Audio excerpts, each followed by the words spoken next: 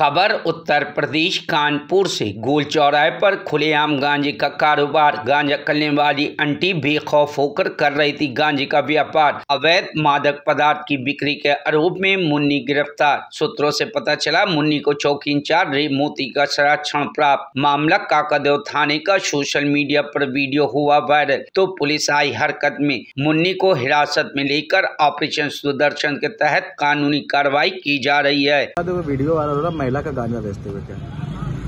महिला को अभी पूछताछ ले आया गया है सारे साक्ष्य संकलित करके उसको जेल भेजने की कार्रवाई सुनिश्चित की है bureau report news hub Bharat.